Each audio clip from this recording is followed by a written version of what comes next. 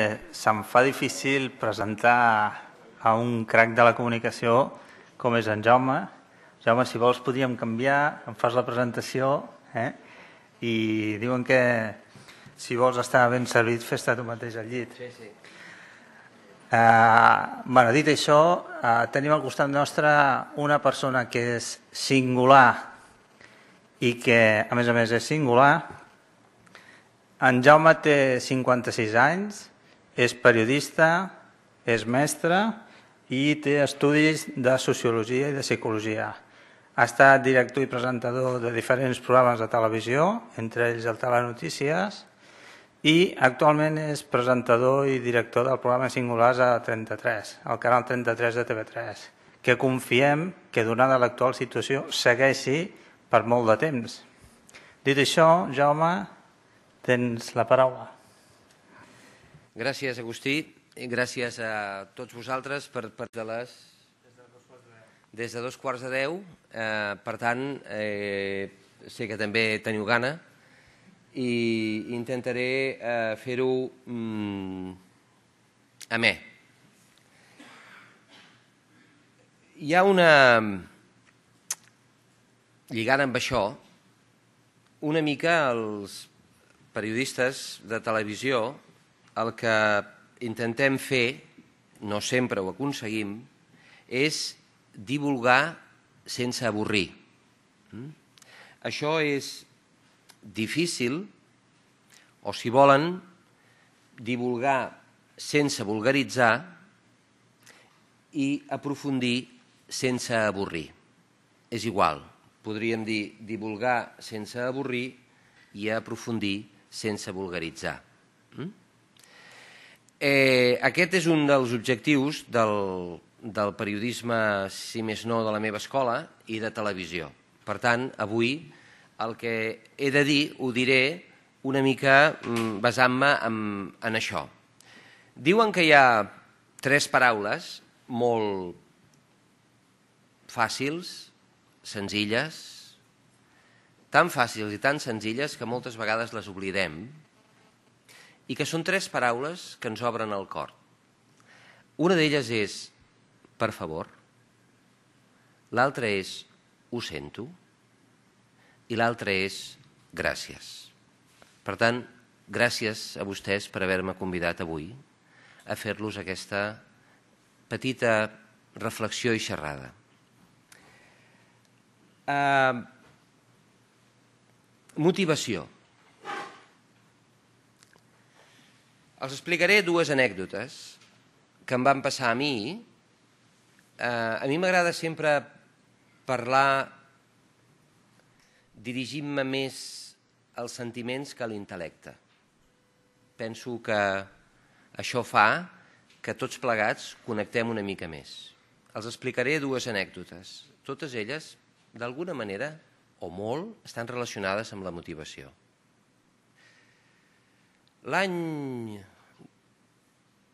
2005, devia ser, el, el, desembre del, el 26 de desembre del 2 Sant Esteve del 2005 és quan hi va haver el terratrèmol terrible a Indonèsia, oi que era el 2005, no o el 2006? Bé, 2005-2006 hi va haver el terratrèmol tan greu i el tsunami posterior a molt a prop de l'illa de Sumatra, Indonèsia. Aquell dia, una setmana després, per qüestions que ara no venen al cas, la direcció de TV3 em va dir Jaume, volem que vagis a Banda H, que era la part nord de l'illa de Sumatra, on hi ha aproximadament, pels nostres càlculs, deia la direcció, més de 150.000 morts, que te n'hi vagis ja amb un equip DNGs. Clar, la primera cosa que fas és... Això, com a periodista, no sé en el Departament de Justícia a què equivaldria això, no? Per un periodista que li diuen vas al, al, al lloc eh, més eh, important des del punt de vista comunicacional que existeix al món i tu hi vas per informar el teu país, això és una satisfacció extraordinària. És a dir, és que ni que m'haguessin pagat, és que si no m'haguessin pagat també hi hagués volgut anar, perquè és el millor que et pot passar com a periodista. I cadascú en la seva professió sempre té allò que pensa que és el millor que li podria passar. Cadascú en la seva professió. En el periodisme és aquesta, que t'envien al lloc de l'acció. I no cal anar a Sumatra, no cal anar a Sumatra. Eh? Pot ser el Congrés de Diputats, pot ser el Parlament de Catalunya, depèn el que es decideixi. Eh? En aquest cas, el fet era internacional. Internacional. I tot el món estava pendent d'això. Jo recordo haver-me assabentat d'aquest fet eh, des del llit estant en una habitació d'un hotel de Nova York. Jo era a Nova York, aquell Sant Esteve, celebraven no sé què amb la meva dona, la meva dona ara no m'ho perdonaria, però sé que celebràvem alguna cosa, i eh, eh, vam veure allò, no? i de seguida vam dir, escolta, o els americans estan exagerant, o és veritat que el que, que, el que pensen que passarà serà terrible. I aleshores, doncs, al cap de dos dies, nosaltres vam tornar, jo em vaig incorporar a la feina, i és quan em van dir, aquesta, em van dir això, no? Bé, nosaltres ens en vam anar cap a, cap a Sumatra. No hi havia cap mena de logística, és a dir, hi anàvem amb una motxilla, no portàvem res més. La càmera i poca cosa més, un telèfon per satèl·lit i poca cosa més. I dius, home, però a veure, on vas tu en aquests moments en un lloc on ha, diuen que més de 150.000 morts, que no se sap si algunes rèpliques poden provocar més tsunamis, que a més a més és una, un poble, una zona on s'aplica la llei islàmica, bé, ens vam trobar a l'aeroport de, de Medan, que és eh, el més gran que hi ha a l'illa de Sumatra, amb un munt de periodistes internacionals, tots iguals que nosaltres, i la companyia i el desconcert de tots plegats ens va, ens, vam, ens va fer que estéssim una mica més segurs, perquè tots estàvem igual. Quan vam arribar a Banda H, vam arribar-hi de nit, no hi podíem anar només que amb avió perquè hi havia guerrillers que en, en, en, el, en el trajecte per carretera atacaven els cotxes que hi anaven, hm? i aleshores només s'hi podia anar amb avió.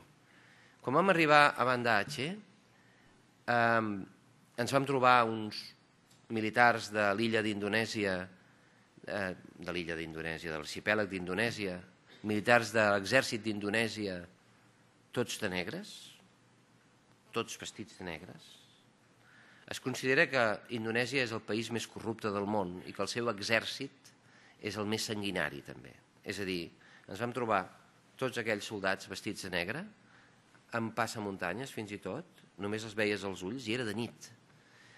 I jo me'n recordo que vaig dir als meus companys, anàvem amb uns americans, i per català els vaig dir als meus companys, escolta, que passin primer els americans. Saps? Jo me'n recordo d'això, eh? I els companys em van dir, tens raó, tens raó, que passin, que passin. Van passar els americans, nosaltres al darrere, no va passar res, no va passar absolutament res. I quan vam sortir a fora vam haver de buscar, no teníem ni casa, no, no teníem res.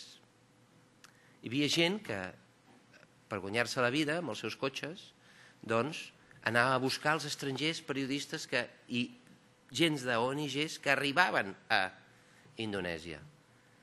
I amb un d'ells, doncs el nostre productor li va dir, escolta, no et puc donar l'adreça perquè és que no tenim casa. Saps d'algun lloc on ens podrien allotjar? I, evidentment, aquesta gent que és molt espavilada, els asiàtics, ja s'ho pensaven. I ens van dir, mira, faré unes quantes trugades i a veure si aquí us hi podeu estar.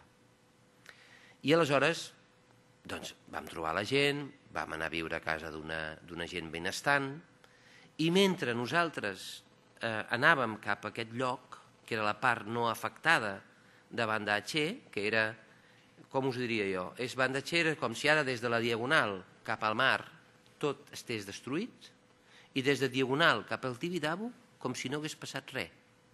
Allò era la ciutat. Mentre nosaltres anàvem cap, a, cap a, al lloc on havíem de viure, només fèiem que veure gossos a la nit, tots ells molsuts. No hi havia llums, però sí que els llums dels cotxes, que era de nit, veies aquests gossos i aquests ulls brillants dels gossos com es van movent passant d'un lloc per l'altre.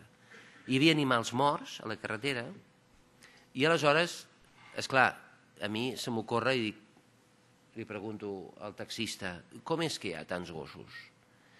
I tots ells estan tan bé. I el taxista em va respondre. I la resposta és desagradable, sento dir-la, perquè no tenen gana, s'alimenten dels cadàvers que hi ha a les carreteres. Aleshores nosaltres quan arribes en aquests moments en un estat de xoc, en plena foscor, et diuen això, va ser bastant, mm, no sé com explicar-ho, però per tornar a agafar l'avió i, i, i venir cap aquí. Ja t'oblidaves que havia estat un gran plaer i un gran orgull informar Catalunya i que t'haguessin enviat a tu, perquè en aquells moments el que volies dir és tornar cap a casa. Perquè si això ja estava passant només en arribar, després què és el que passaria? L'endemà, ja... la mateixa nit, perdó, la mateixa nit, eh, era una casa on només hi havia dones, els homes no hi eren, eh, totes elles vestides eh, de manera integrista, no anaven amb el burca, eh, però déu nhi i aleshores no hi havia cap home i no parlaven anglès. Amb el taxista li van dir abans de marxar que no eh, tanquéssim les portes i el taxista ens ho va dir a nosaltres. Diu, escolta, ens diuen les senyores que no tanqueu les portes quan aneu a dormir. Bueno, no ho vaig entendre, però cadascú va anar a dormir, no va tancar les portes, no vam tancar les portes. I aleshores eh, estàvem, jo estava plenament dormit i vaig tenir un somni que hi havia ho sento, eh? no és políticament correcte potser, però com que els havia vist així negres i tapats i el, i el, i el nijab, i... doncs vaig veure dos, dos musulmans que m'agafaven un pel cap i l'altre pels peus i que em sacsejaven contra la paret fins que em tiraven a terra. Mm? I vaig despertar-me a terra. Era un terratrèmol de 7 i mig graus que ens va tirar, a mi em va, tirar, em va fer fora del llit, em va, em va tirar, mm? i els meus companys també, i vam sortir amb totes aquestes dones, ja no portaven, ja no anaven tan tapades, anaven només amb la camisa de dormir, tots abraçats a fora, i nosaltres ens preguntàvem on és el mar? Perquè nosaltres no sabíem on era el mar. Nosaltres patíem pel tsunami. Si ve un tsunami, cap on hem de córrer. Tampoc podíem comunicar-nos amb les senyores, perquè les senyores no parlaven anglès així és que tots ens veieu, aquests quatre, quatre, no, tres catalans, amb quatre o cinc eh, senyores, dones de, de banda Che, amb els seus respectius, tots abraçats fent pinya, amb un silenci terrible i amb un soroll sota terra també terrible, però en cap moment vaig veure en la cara d'aquestes senyores por, pànic, en cap moment vaig veure això en les cares d'aquesta gent. Això em va estranyar. I l'endemà, ja de dia, veies que persones que ho havia perdut tot, tot, tot, sempre tenien una rialla a la cara. Sempre. Sempre. I és clar, ets periodista i vols saber exactament per què. Tu que feies una cara de pomes agres, de por, ja no sabies què fer, veies no us enganyo, van veure aproximadament entre 150.000 i 200.000 cadàvers. Ja no, no sé, pensaves que no eres d'aquell món, volia saber exactament per què aquesta gent tenia la rialla a la cara, el somriure a la cara. Se't feien de seguida empàtics. I ho vaig preguntar amb un eh, musulmà que era integrista, que era justament, a Indonèsia són eh, integristes i en són 800.000 aquest grup, eren un grup de musulmans que havien, eh, recollien nens orfes i els recollien. I aleshores els formaven i creaven com una mena d'exèrcit de voluntaris. Bé, doncs aquests, en grup, anaven vestits de blanc, se'n van anar cap a Bandatxer. Aleshores, el seu cap, que era un integrista conegut, que havia amenaçat els occidentals, que ens havia amenaçat a nosaltres perquè considerava que no ens comportàvem com calia, jo li vaig preguntar per què jo només veia que rialles a les cares d'una gent que ho havia perdut tot. I aquesta persona em va contestar que després vaig tenir oportunitat de, de dir-ho per telèfon al, al president que hi havia aleshores, no era el 2004, no era el 2005, era el Pasqual Maragall, eh, li vaig eh, poder dir que, perquè ell telefonava molt sumint perquè estava molt preocupat i etc i li vaig poder dir exactament què m'havien respost a aquesta mateixa situació en què em vaig trobar. I aquell home em va dir mira, a diferència de vosaltres occidentals nosaltres tenim fe família i una història de patiment. Jo em vaig quedar amb aquestes tres definicions, no? punts que ell em va donar. Fe, és veritat. Els dies que no hi havia terratrèmol era impossible dormir més enllà de les 4.30 del matí, perquè entre les mesquites feien, feien competència a veure, a veure qui posava o cantava més fort, és a dir, fe és veritat. Després l'església i la mesquita per ells representa eh, la seva casa, casa seva. Mm? I després una història de patiment, és veritat, aquesta gent ha patit i pateix molt, per tant allò no els venia de nou. Mm? I clar, jo em vaig quedar també la família, el compte amb la família, perquè en un principi a mi em va semblar que això era, no era important, sí que ho és. Els musulmans, la família, encara avui per ells representa el pal de paller. Nosaltres potser ja no ho representa tant. I tot això els feia forts, i els feia riure, i els feia dir, ho superarem. Molt bé. Deixem Indonèsia i ara passem a una altra banda del món, que és São Félix do Araguaia, Mato Grosso, Brasil. L'any 1999 vaig anar a entrevistar el bisbe Casaldàliga, Pere Casaldàliga. El bisbe Pere Casaldàliga tenia en, una, en el seu palau eh, episcopal, que és una casa oberta de bat a bat, amb una cuina a disposició sempre dels més pobres, una ampolla amb una aigua tèrbola. I jo li vaig preguntar, eh, Monsenyor, què hi ha en aquesta ampolla d'aigua tèrbola? Que ella, jo havia vist que havia, bevia de tant en tant. I em diu, vol provar? No, gràcies, no, no vull provar-ho, però mm, vull saber què hi ha aquí dintre. I em diu, mira, això és una història molt llarga, però te la faré curta.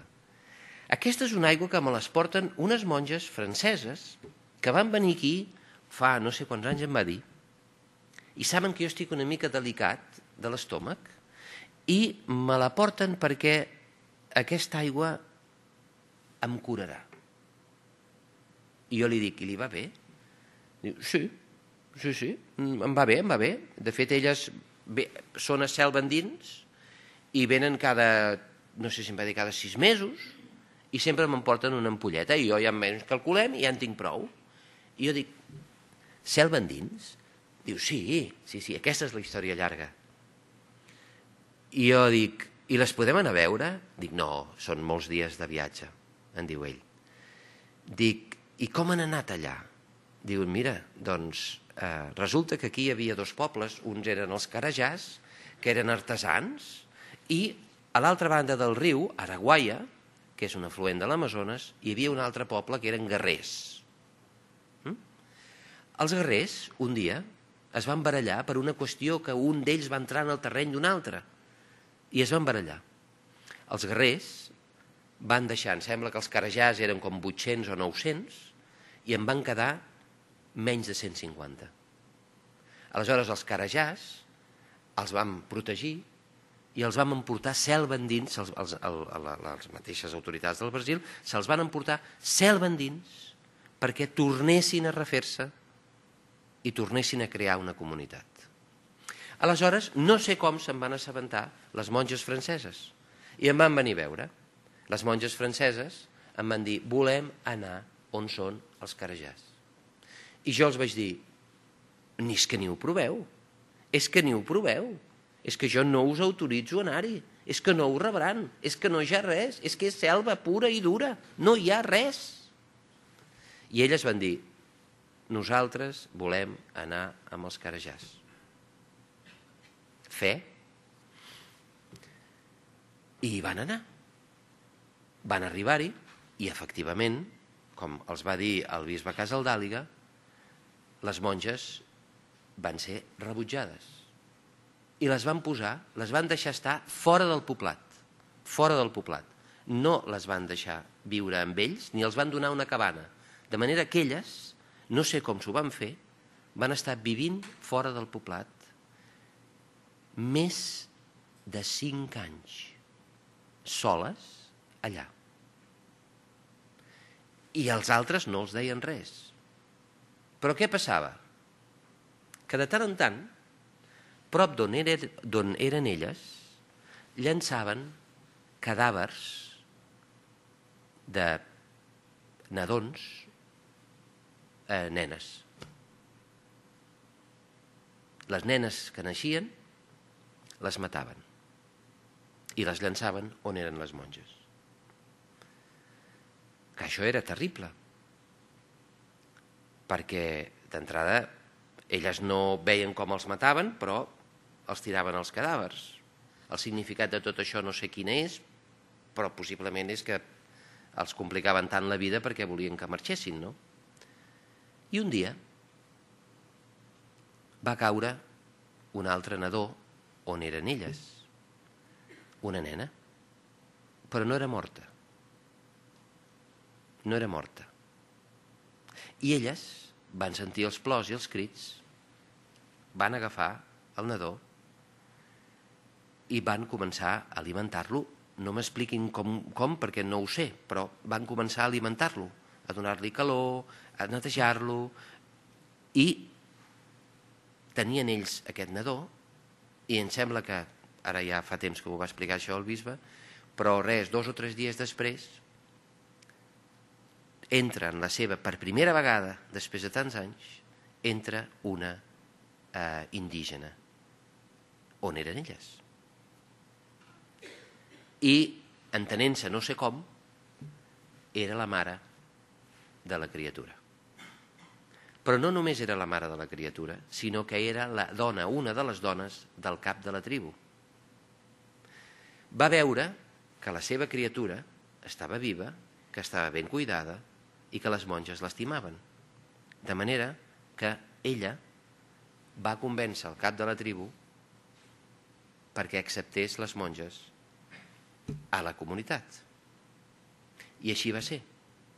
Les monges van ser acceptades a la comunitat i les monges van convèncer el cap de la tribu de no continuar matant les nenes perquè d'aquesta manera ells no podrien créixer com volien créixer. A mi això també ens serveix per parlar d'una altra cosa, de la fe i de la motivació. Nosaltres hem de fer qualsevol cosa que fem perquè estem motivats, perquè tenim motivació. Si no, no la farem. uns periodistes que els envien a l'altre racó de món en una situació dificilíssima i van perquè per ells és un orgull professional, estan motivats i hi van.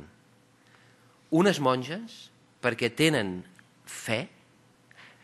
No busquem en la fe només un significat religiós. Jo no li dono.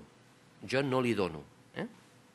És dir, unes monges que tenen fe, que saben que elles volen fer allò i tant se val, tant s'hi fa, què han de patir, però ho aconsegueixen.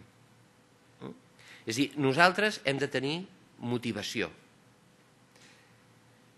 La fe, si no li treuen, si li voleu treure el contingut religiós, li traieu el contingut religiós. Eh? Però un ha de creure en alguna cosa. Eh? Creure en alguna cosa. Jo vull ser un bon eh, funcionari administratiu del Departament de Justícia i jo vull fer la meva feina el millor que sàpiga fer. Jo vull ser un bon periodista i, informar de la manera més honesta i plural possible. Però hem de tenir alguna motivació. Sense motivació no anem en lloc.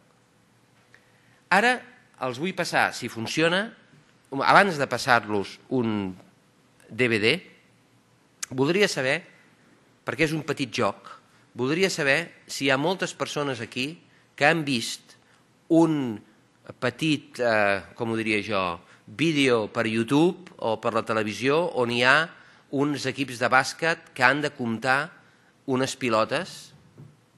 No? Un moment. Tornem-ho a, a, a passar. I es tracta de fer el següent, es tracta de fer el següent, eh, quan em surti el... Es tracta de fer el següent, es tracta de... Hi ha dos equips de bàsquet. Uns van vestits de negre i uns altres, si no m'equivoco, van vestits de... Eh, no no s'engega automàticament? No. Ah, perdó.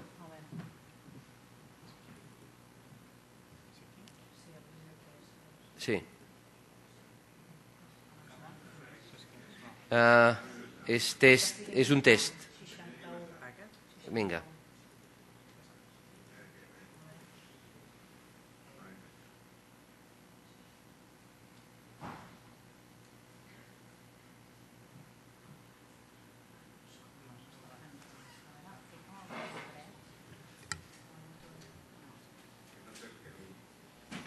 Ara, ara, és aquest, és aquest. És aquest. Para, parem un moment, deixa un moment. Count how many times the players wearing white pass the ball. Bé. Eh, quantes vegades, ho entenen, no? Eh? Quantes vegades els que vesteixen amb la samarreta blanca es passen la pilota? Si us plau, samarreta blanca, les vegades, comptin les vegades. Mm? És fàcil de no fer-ho bé.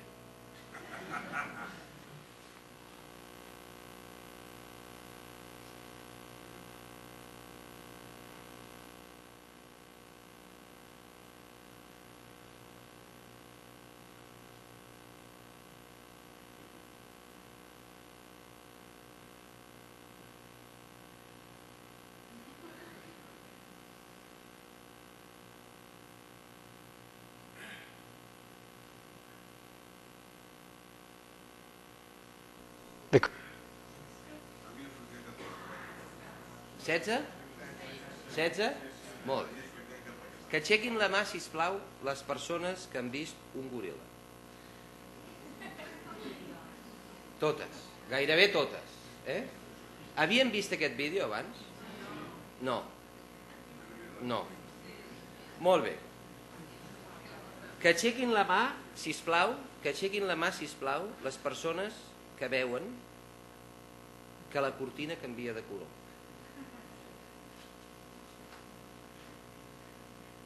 Que aixequin la mà, si plau, les persones que han vist que desapareixia un jugador. Val. Molt bé. Tornem a veure-ho i veuran com la cortina canvia de color i veuran com desapareix un jugador. Sí? No s'ho creuen. Molt bé. Doncs som-hi. No cal comptar, només veiem...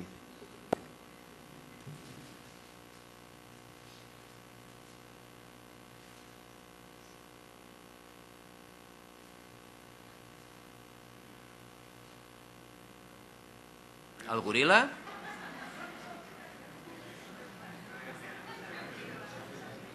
La cortina. I el jugador ja s'havia perdut. Eh? The correct answer És a dir, què, què ha passat aquí? Què ha passat aquí? Uh, sembla mentida, no? Però ha passat el següent, segons els neurocientífics. Nosaltres hem vist que la cortina canviava de color. Hem vist que desapareixia un jugador. Ho hem vist tot. Però nosaltres hem dit, en el nostre cervell li hem dit, no m'emprenyis. Perquè ell ens ha dit, ei, que canvia la cortina de color. I nosaltres li hem dit, no m'emprenyis, estic comptant. O no faré bé, o no faré bé els deures que m'han donat. No els faré bé, així que no m'emprenyis més. Calla, és que desapareix un jugador, que callis. Això ha passat. Si nosaltres ho haguéssim vist tot, han vist la pel·lícula Rainman? Se'n recorden del moment en què cau la capsa de llumins a terra? I Rainman diu, el protagonista diu, hi ha 262 llumins. I tothom diu, però com és possible? Doncs bé, si nosaltres veiéssim exactament tot el que passa davant nostre i en fóssim plenament conscients, no estaríem bé. Podríem ser autistes o podríem tenir alguna altra disfunció. La persona protagonista d'aquesta pel·lícula, Rainman, era com un dels casos únics al món, tenia el cervell partit en dos, però en dos. Eh? La persona, aquest, ara no sé, perdoneu, no sé com es deia, quan llegia un llibre, quan llegia un llibre, llegia el llibre molt ràpidament, però és que amb cada ull memoritzava una pàgina. Ell tenia l'habilitat de fer això.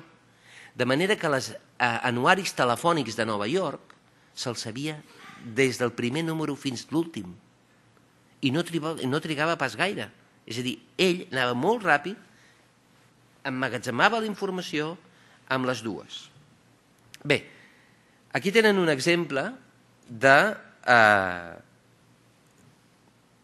molt útil, ara en passaré un altre que potser és més adient pel Departament de Justícia. Eh? Com expulsem el... Ara, és, potser és més adient pel Departament de Justícia i aquest aquest ha so, és a dir, que també deu pesar,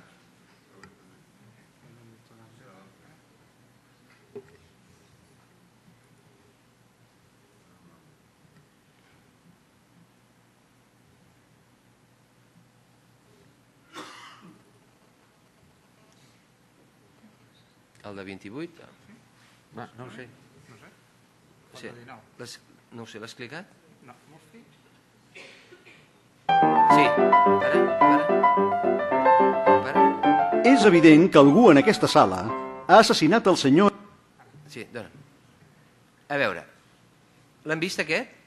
No. Bé, són del Departament de Justícia.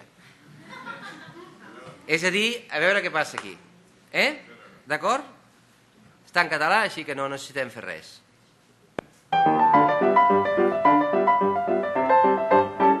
És evident que algú en aquesta sala ha assassinat el senyor...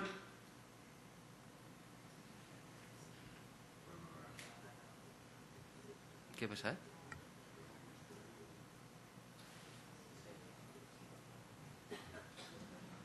Què deu fer? Miserable.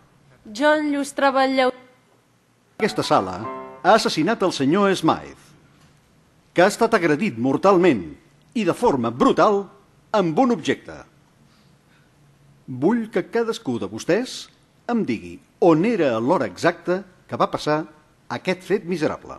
Jo enllustrava el llautó en el dormitori principal. Jo era baix posant mantega als panets del senyor, senyor. I jo plantava les petúnies a l'hivernacle.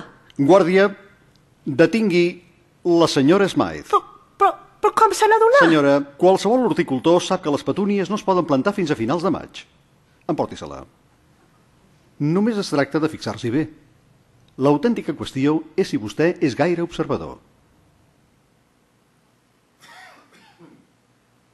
Han notat 21 canvis?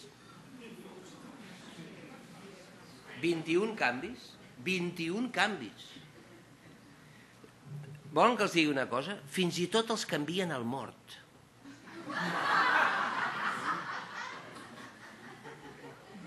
S'ho creuen?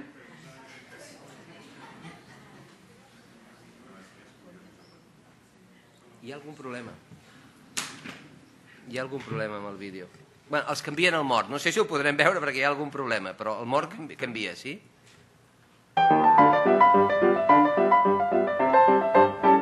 És evident que algú en aquesta sala ha assassinat el senyor Smythe, que ha estat agredit mortalment i de forma brutal amb un objecte. Vull que cadascú de vostès em digui on era l'hora exacta que va passar aquest fet miserable. Jo enllustrava el llautó en el dormitori principal. Jo era baix posant mantega als panets del senyor, senyor. I jo plantava les petúnies a l'hivernacle. Guàrdia, detingui la senyora Smythe. Però, però, però com se n'ha donat? Senyora, qualsevol horticultor sap que les petúnies no es poden plantar fins a finals de maig. Emporti-se-la. Només es tracta de fixar-s'hi bé. L'autèntica qüestió és si vostè és gaire observador. Ara hauria de... No sé per què, no es veu, però han vist que ha canviat el mort? L'han vist que ha canviat el mort? Eh? Bé, o sigui, deix- no, sé, no sé per què, però passa ràpid, no, no, hi deu haver algun problema potser en el mateix, en el mateix DVD. Som en una altra eh, prova de la, de la, del que jo els, els volia dir, i és que eh, també ens adonem, nosaltres som conscients del que està passant. Bé, per què he posat aquests dos vídeos? Doncs perquè els periodistes tenim l'obligació de veure-ho. I com més coses veiem de les que passen, millor podem informar.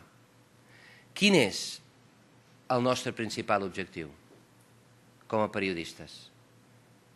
Vostès diran informar, d'acord. Jo en tinc un altre, fiscalitzar el poder.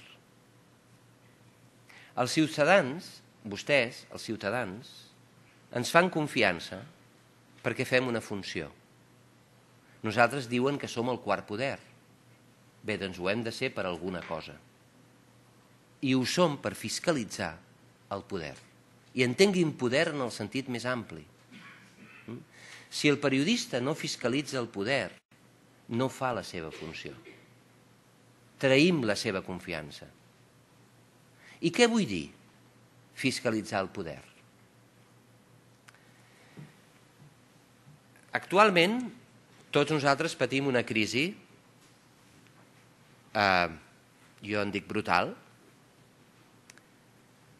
que d'alguna manera és com una revolució. Quina és la definició de revolució? En podríem trobar moltes, moltes. Però a mi me n'agrada una, de Walter Benjamin, que és la següent. Som en un tren, anomenem-lo capitalisme o capitalista, i el capitalisme ha anat canviant amb el temps. Nosaltres hem viscut i patim la fase del capitalisme financer, especulador, jo en dic capitalisme casino. D'acord? I, de cop i volta, som dintre d'aquest tren i nosaltres accionem el fre d'emergència. I el tren es para. Pel Walter Benjamin, aquesta és la millor definició de revolució. Nosaltres, sobretot els periodistes, hem de veure exactament què està passant aquí. Per això, des del meu programa, jo demano constantment on són els culpables. On són els responsables? I no callo, i ho dic, alguns telespectadors en diuen para ja d'aquestes històries, d'altres en diuen continua, però és així. On són els responsables? On són els responsables d'haver aturat l'ascensor social a Catalunya?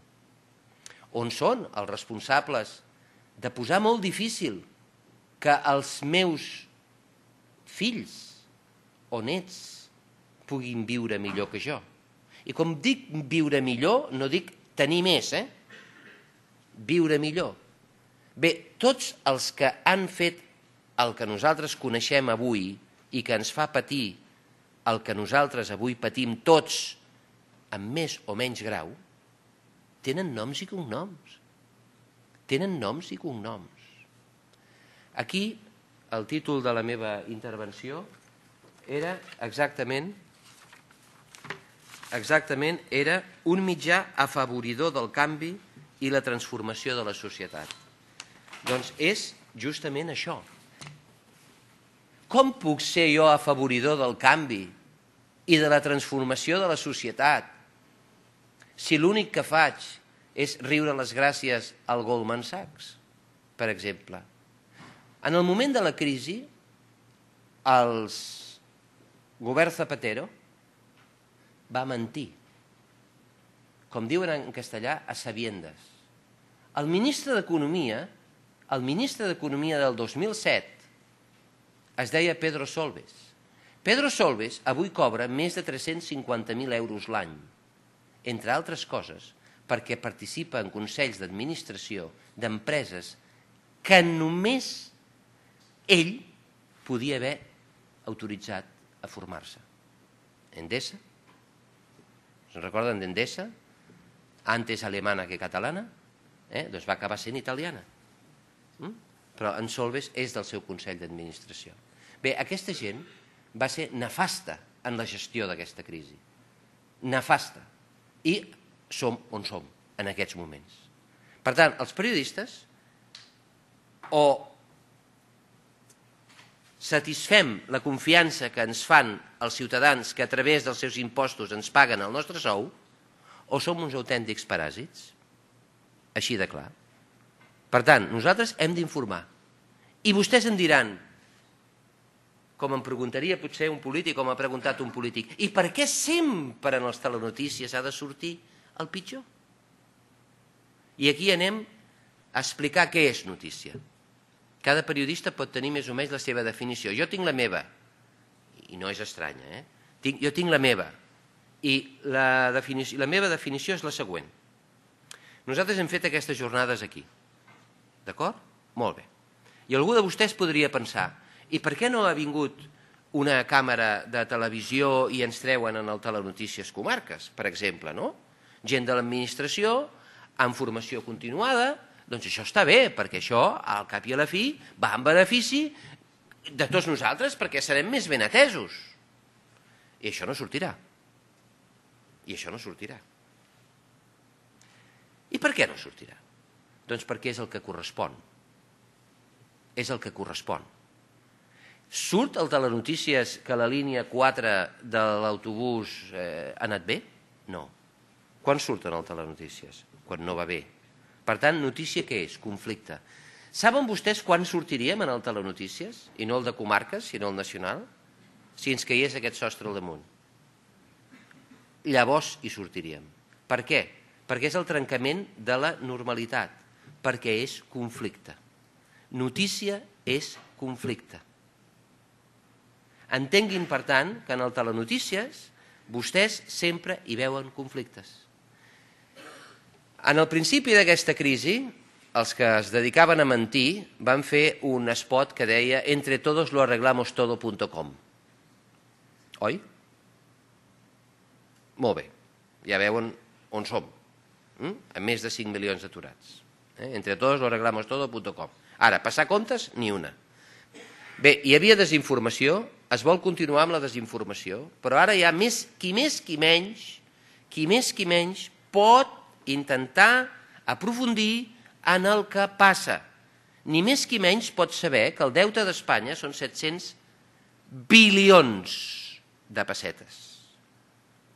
Mm? I qui més qui menys ho pot intentar saber, això. D'acord? Ho pot intentar saber.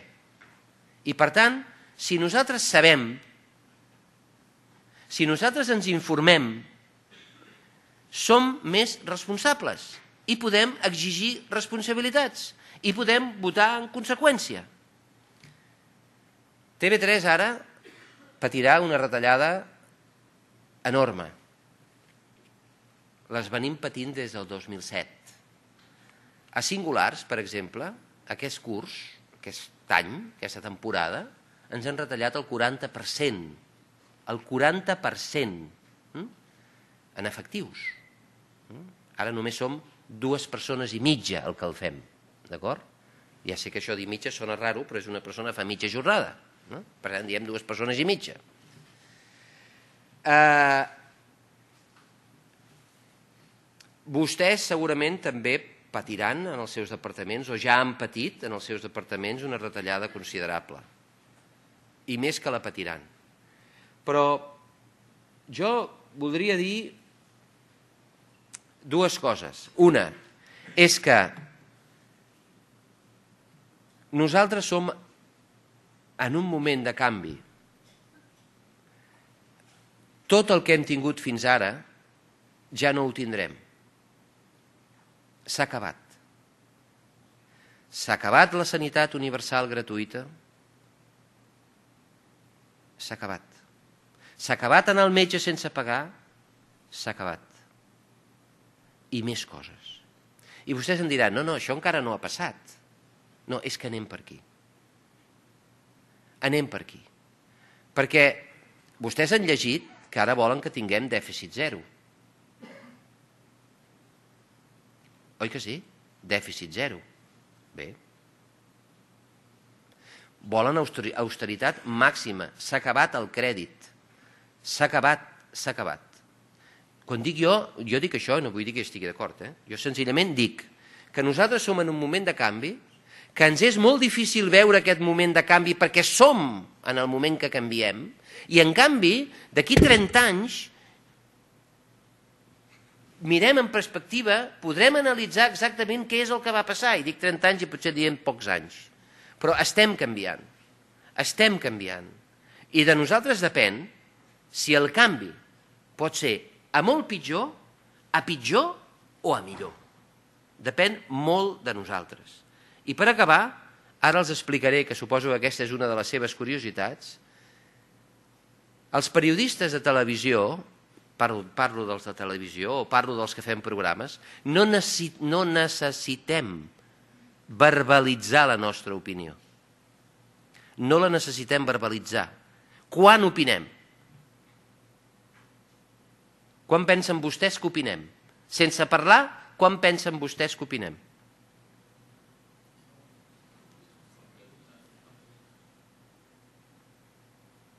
En el Telenotícies. En el Telenotícies. Quan? Ah, exacte. Aquesta és l'opinió. Nosaltres opinem en funció del que posem.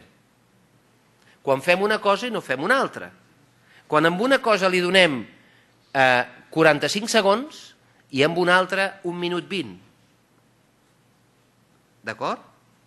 I en una televisió pública sobretot TV3, jo vull que sàpiguen que és una de les millors televisions públiques que existeix al món. I no m'ho invento jo.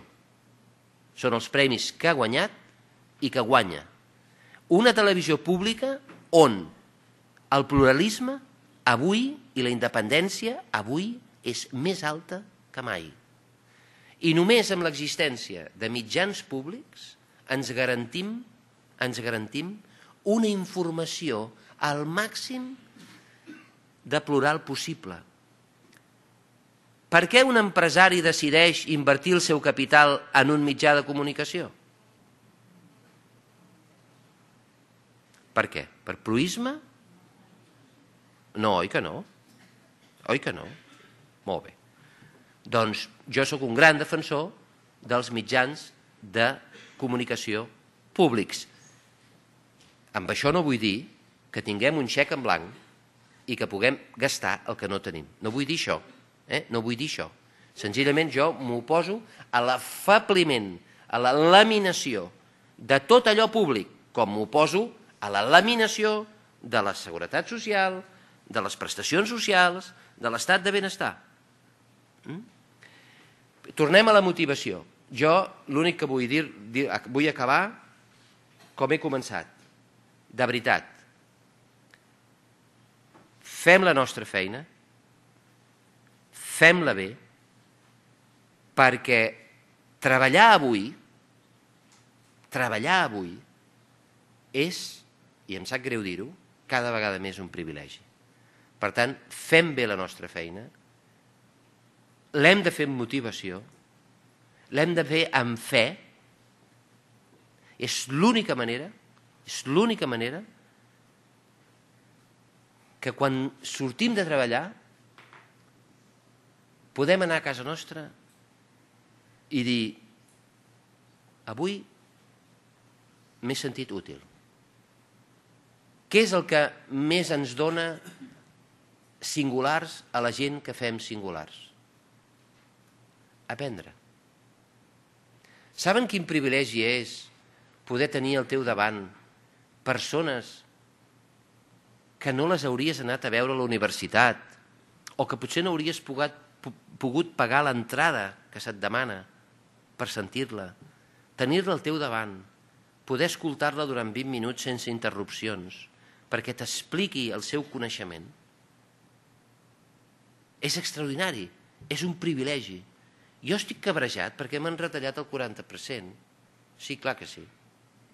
Clar que sí. Però sóc un privilegiat. Treballo. A més, treballo en una cosa que m'agrada, que em motiva. Això és el que nosaltres tots plegats hem de fer. O estem motivats, o el tren esperarà, no perquè tirarem nosaltres de l'emergència, eh? de l'alarma, no, no, esperarà perquè no tindrà vida. És necessari la motivació. No hi ha una altra alternativa. I la motivació, abans parlàvem amb l'Agustí, jo sempre que he tingut l'oportunitat de crear equips, una mica enllaçant amb el que ha dit el senyor Ginebra, sempre que he tingut l'oportunitat de crear equips, els he fet basant-me en dos grans principis. En dos. Eficiència i competència. Mai he buscat l'amistat. Mai. L'amistat ha vingut després. Fins i tot jo he arribat a formar equips amb persones que no m'hauria pres un cafè però ni, ni amb dos cubates de més. I l'he format. Per què? Perquè he considerat que aquella persona era el millor en allò. I després ha vingut l'amistat. Tampoc massa, eh? Tampoc massa. Però ha vingut l'amistat després. De veritat. I si, i si i sobretot també he intentat evitar les persones tòxiques. Vostès saben que els neurocientífics demostren que les persones tòxiques ens consumeixen. No s'han trobat mai un dia que han tingut una idea i han anat al seu cap de departament i li han dit tinc una idea fantàstica, extraordinària, és que amb això aconseguirem no sé què. I sempre te la tombada? No, no coneixen mai ningú que expliquis a qui expliquis alguna cosa sempre et dirà que no? Diran que no en coneixen d'aquests. Bé, això és terrible, és terrible. S'ha de triar molt bé la persona a qui nosaltres volem explicar els nostres somnis. De veritat, és dificilíssim. Hem de triar molt bé les persones que volem que ens escoltin. No volem la persona que ens estima, que sempre ens dirà que sí. No. Volem la persona que sí, ens estima, ens respecta, ens respecta, però ens escolta perquè vol ajudar-nos. Aquesta persona, si ens diu que allò que hem pensat no és bo, no ens ho dirà perquè ens odia, perquè té enveja, perquè ho voldria fer ella. No, ens ho dirà perquè ens vol ajudar. Aleshores, hem de vigilar-ho molt, això.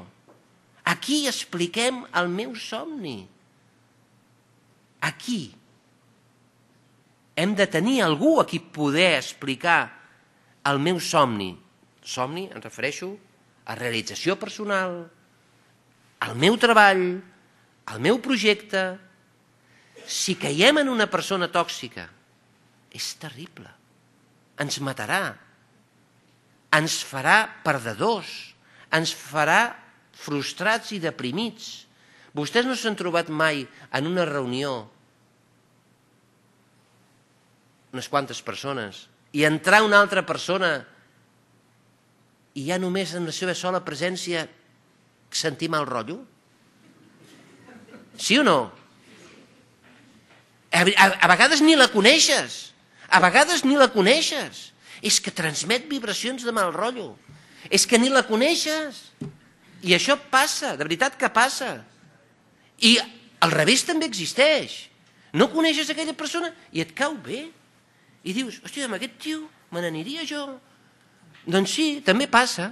Bueno, doncs hi ha persones que, que porten aquest Sant Benet al damunt, no? Hi ha persones tòxiques, de veritat. I hem de mirar, com hi ha pensaments tòxics. El pensament tòxic és aixecar-te de bon matí i dir, sóc un desgraciat. No serveixo per res tornaré a fracassar.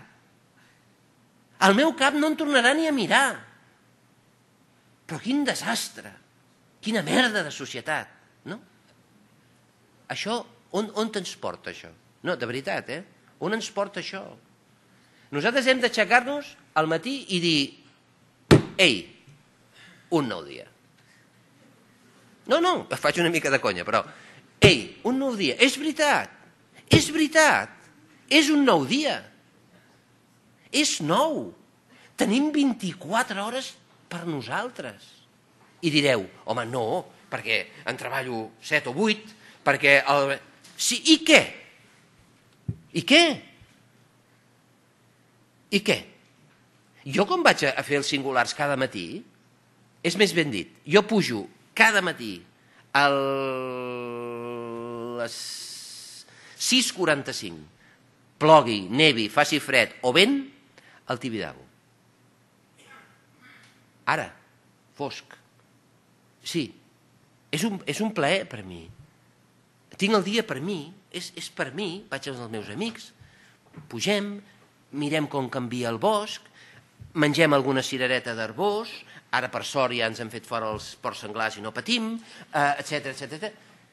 Però tenim el dia, quan anem a singulars, tots els que hi som, diem, a veure, no sabem què fer perquè tenim fins al 30 de juny de l'any que ve tots els dies plens. I en canvi tenim aquestes necessitats perquè sabem què passarà això. Però és, de veritat, és un dia per tu, és un nou dia. I això, jo no sé si aquí hi ha molts funcionaris o no, la meva dona és funcionària, jo ho hagués pogut estar, no ho vaig ser, coses de la vida, i a mi m'emprenya molt, com a ciutadà, que es consideri que els funcionaris són persones nules, que dificulten més que ajuden. De veritat, a mi em sap greu que això sigui així, perquè no és veritat. No és veritat. Per tant, a mi el que m'agradaria és que si tots nosaltres, sense perdre el nostre esprit crític, sense perdre el nostre esprit crític, anem a treballar, el dia és nostre, podem fer moltes coses, podem fer la feina millor, podem pensar en positiu, podem proposar com arreglar l'administració de justícia que fa tres segles que s'intenta arreglar, eh? i podem millorar-la, podem millorar-la, de veritat que podem. Nosaltres no sabem la força que tenim com a col·lectiu, no ens ho podem arribar a imaginar, la força que tenim, però ens hem d'aixecar bé, ens hem d'aixecar dient Ei, allò de los amos de l'universo de un nou dia, bon dia. Sí senyor, per què diem bon dia? No? Per què diem bon dia? Per què no diem una altra cosa? Hola. No, bon dia. Bé, torno a repetir les paraules, les tres paraules, utilitzem-les, ens ajuden, ens obren el cor. Per favor, ho sento quan ens hem equivocat, i gràcies.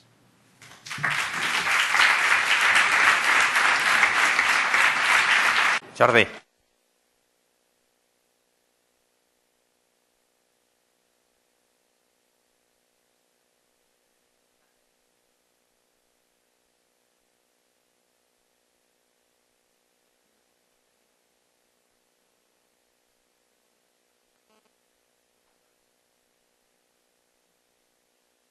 Gràcies per la intervenció, tot i que de vegades el, els missatges que involuntàriament la societat transmet és que els funcionaris no en són tant d'emprenedors.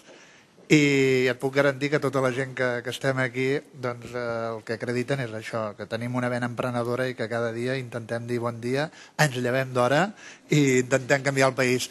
Una cosa, jo el que sí que els volia demanar als periodistes encara que l'internet ha canviat una mica el vostre rol com a intermediaris, amb l'intercessió amb, la, amb la societat i amb el coneixement que consumim, que intenteu anar més enllà. Nosaltres, tradicionalment, aquest país havia mirat, com deia el poeta, nord enllà. De vegades perdem aquesta... ens, difone, ens disolem amb una altra mentalitat, però hem d'intentar emmirallar-nos en països com Gran Bretanya, en països del nord, on tot el tema de periodisme de dades, que sé que el coneixes, no? a partir dels moviments de dades obertes i de la transparència i tot això, doncs el periodisme exerceix un rol magnífic en aquest sentit, de, de vigilància, de afavoridor de la transparència, etc etc. no?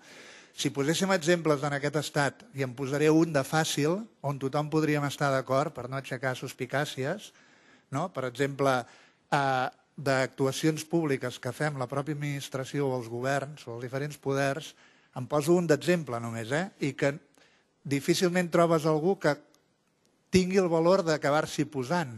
No? L'exemple que et poso és la Casa Reial, amb tot el tema de, de, de l'assignació pressupostària dels 8-9 milions d'euros no, 9.000 milions d'euros que tenen de... No, 8 milions d'euros que tenen d'assignació anual no? que per sota d'aquí difícilment es pot, es, eh, ningú gosa demanar doncs, què s'acaben destinant aquests diners, etc etc. no? Quin creus que podria... Creus que es pot anar més enllà amb aquest periodisme de dades, el rol del... Eh, el, el, a mi em va fitxar Televisió Espanyola i eh, quan em va fitxar Televisió Espanyola eh, el director general que hi havia em va reunir, em va fitxar ell, em va reunir i jo li vaig dir, dic, eh, fins on podem arribar? I em diu, hasta donde tu quieras. Ah, sí? No hi ha vull dir, llibertat total i absoluta? Bueno, hay dos temas. I jo li dic, ah, dos temas, a ver, cuéntame. No es que no puedas decir nada de estos dos temas, pero te agradecería que sí alguna vez quieres, antes me llamas y lo comentamos. Dos temas. ¿El saben? El rei i l'església? Rei? No. L'altre?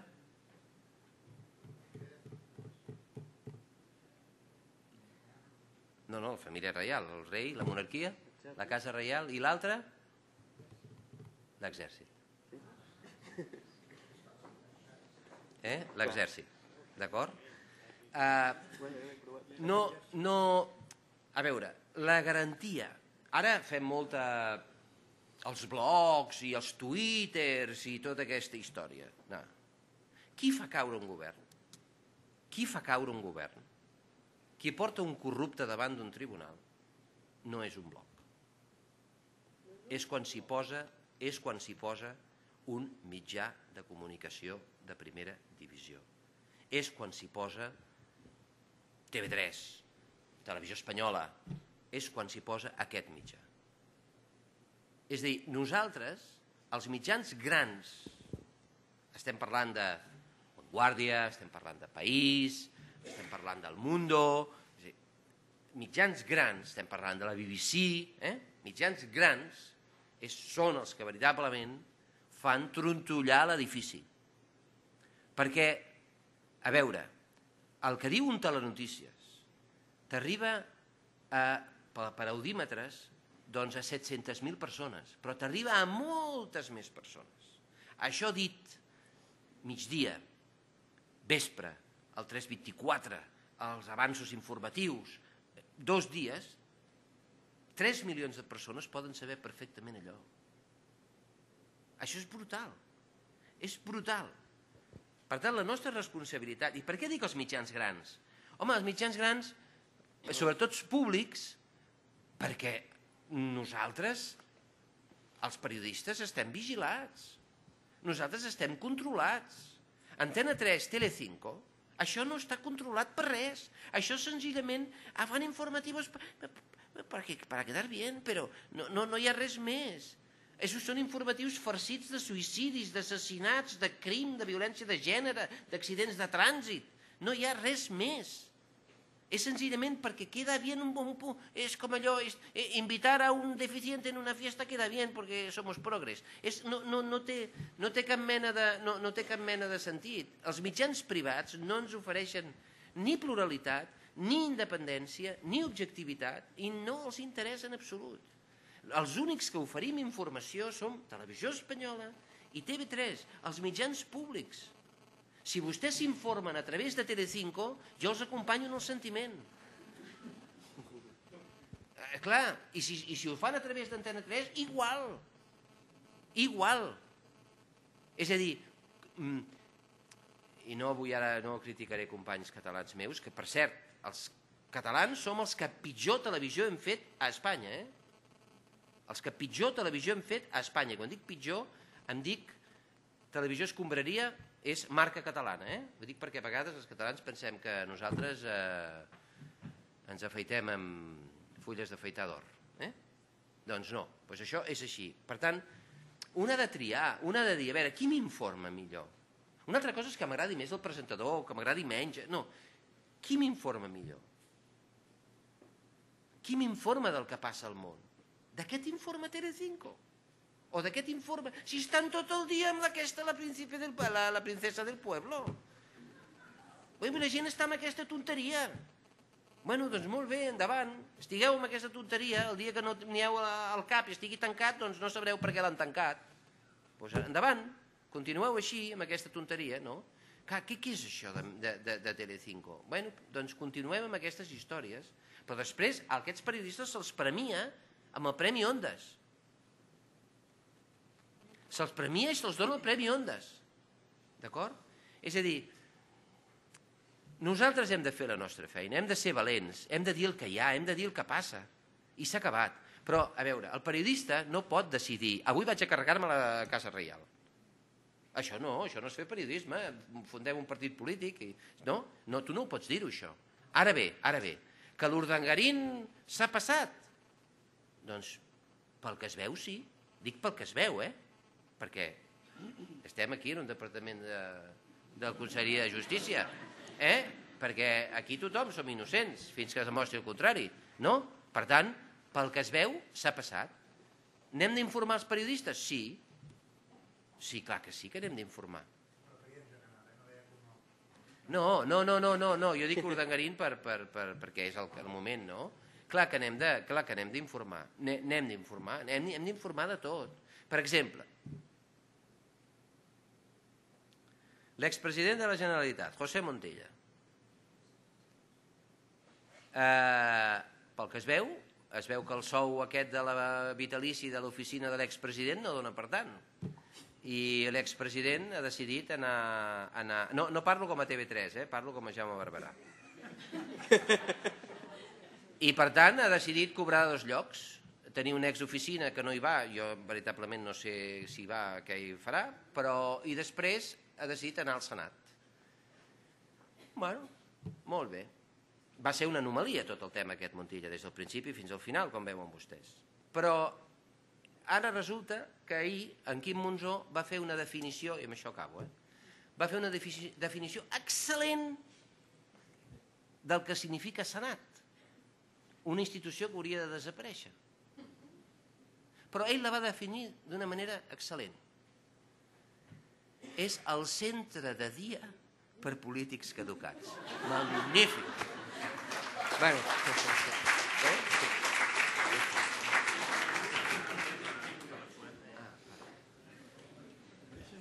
Sí. Bé, el guió diu que jo he de fer les conclusions i és més un moment de concloure que no pas un moment de conclusions, però, però permeteu-me que abuse de vosaltres cinc minuts perquè em penso que toca. Mm? toca parlar de conclusions. Jo no he estat tota la sessió i, per tant, seran unes conclusions parcials.